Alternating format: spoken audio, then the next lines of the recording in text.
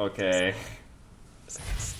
Explain, explain your shit. Okay, so Space Jam, I'll tell you the premise. What happens, first things first, Michael Jordan is no longer playing basketball. His, it's his career in baseball, which he's terrible at, and they make fun of him several times in the movie about being really bad at baseball, but he's playing it.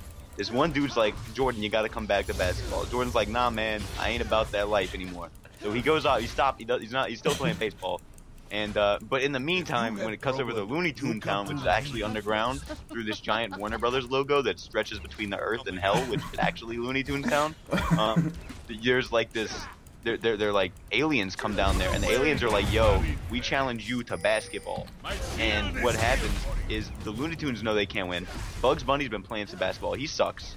So uh, so they're like, we need somebody. We need somebody to help us out. So they go up to they go up. They find Michael Jordan. Please, okay. What? Well, You alright? That's- Alright, okay, uh, we're good. sorry, just.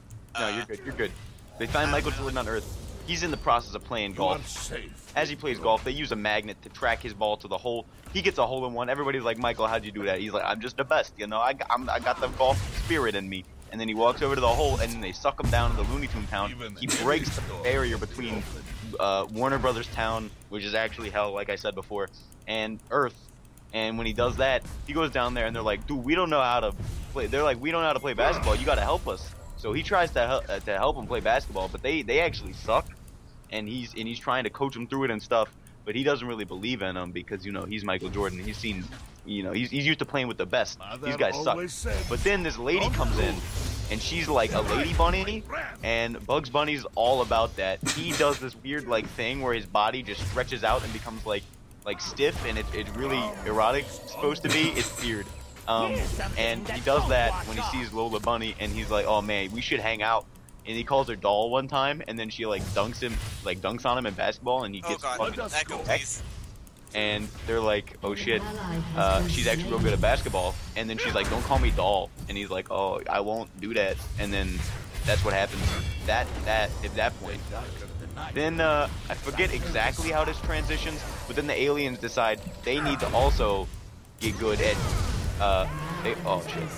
They also need to get good at basketball, but they suck. They actually suck. So what they do? Oh, this may have happened before. I may be a little bit backwards on the, the time for this, but it's close enough.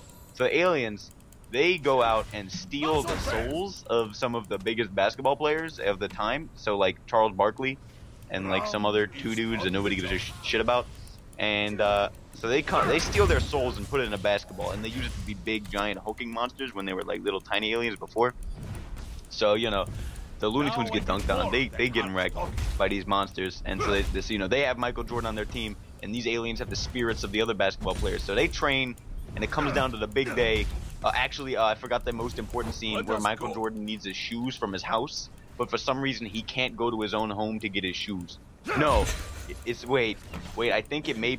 I think it may, it's either his shoes. Yeah, it's his shoes. It's his shoes. They need his shoes, and so they go to his house and they try and get the shoes and put the dog there. The dog really doesn't like Daffy Duck or Bugs Bunny, so they have to run away from the dog and try not to wake up the kid. And it's all this weird scene where it's like, why couldn't Michael Jordan just go get his shoes? I don't know. So then they go back and they're they're they're they're ready for the big game and they go out to play and they are getting absolutely destroyed by the monsters. The, oh, uh, I forgot the best part. The monsters basketball team is actually the Monstars because they're basketball stars. Oh. Greatest name. And uh, and meanwhile, this whole time, uh, Charles Barkley and his team of basketball wash-ups uh, have been have been sucking real bad at basketball, and they try and go they try and go play the street basketball with some kids, and the kids are like, "You suck, bro. You ain't even Charles Barkley for real." Like they thought he was Charles Barkley, but then but then he loses to some kids in basketball, and they they shame him for the rest of his life. So, you know, they've been sucking.